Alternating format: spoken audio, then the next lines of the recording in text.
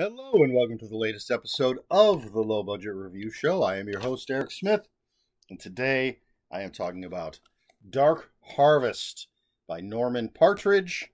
And this says it is a Tor paperback. I actually got this copy at Barnes & Noble, just sitting right there on the shelf. And this is a winner of the Bram Stoker Award. And, uh, excuse me this is a story that takes place in 1963 in a small, no name town. And every year, uh, the October Boy, aka Old Hacksaw Face, aka Sawtooth Jack, uh, rises from Pumpkin Patch at Halloween with a butcher knife in his hand, and he's got to get through this gauntlet of teenage boys. I believe it's 16 through 18 um, they're trying to take out old Sawtooth Jack, the October boy. He's trying to make it to the church in town, and uh, he's filled with candy. There's this weird stuff going on. And our main ish character is Pete McCormick, uh, but he there, there's a lot of stuff that he's not involved in, which is why I say main ish. But basically, it's about this particular Halloween in 1963 and the October Boy. Excuse me. That's a bit of a nutshell. So, um, I love that cover. Let's start with that. Fantastic cover. Spooky, pumpkin headed creature there. Uh, I'm going to mention this is in production, I believe, to be a movie. I believe it's on IMDb. I believe there's a cast list already. So we'll see. That's one of the reasons I picked this up when I did, because uh, I wanted to read it before the movie came out. No idea when that's going to happen. And this is the first book that I've read for my Halloween reading list. I started early. As soon as September came around, I finished the book I was reading, and now I've I've got a pile of books that I've even added to. I did a video showing off the books I was going to read, and I've already added uh, two more that I didn't even talk about. And but this is the first one. But you're about to get a whole series of book reviews on Halloween books.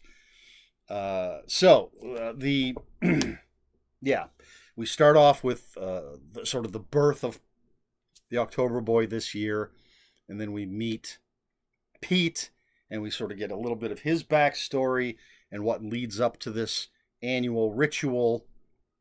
And we have vague notions of what's at stake.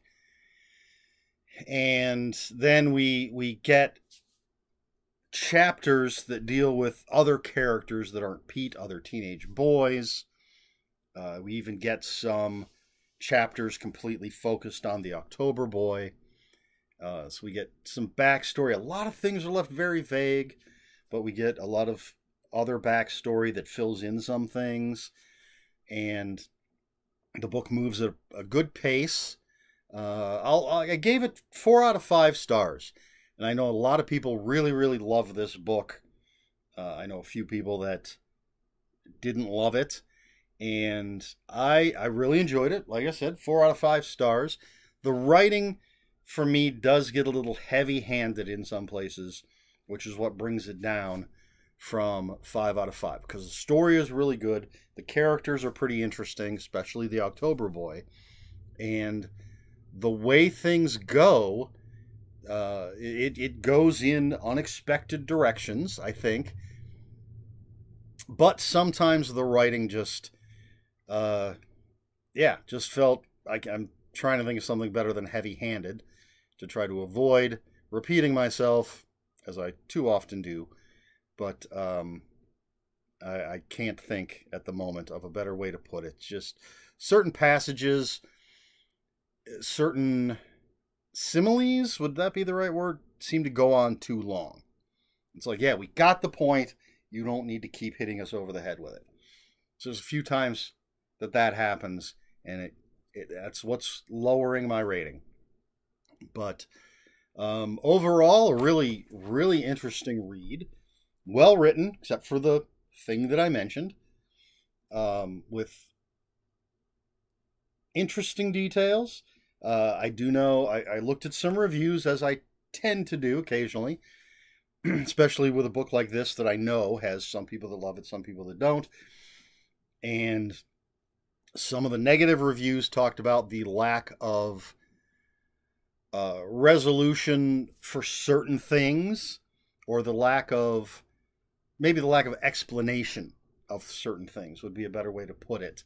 Uh, there are elements that are not explained. I don't think that's necessary. We learn enough about these elements.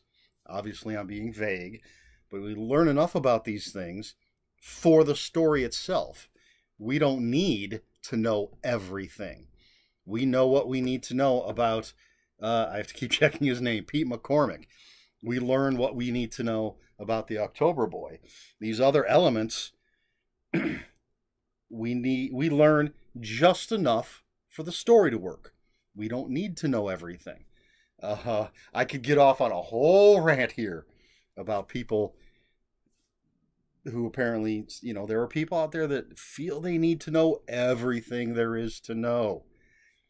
I could go off on Star Wars prequels and uh, stupid articles on the internet about plot holes that aren't plot holes. Just because you aren't told something doesn't make it a plot hole. See, I'm already getting hot under the collar. Whew.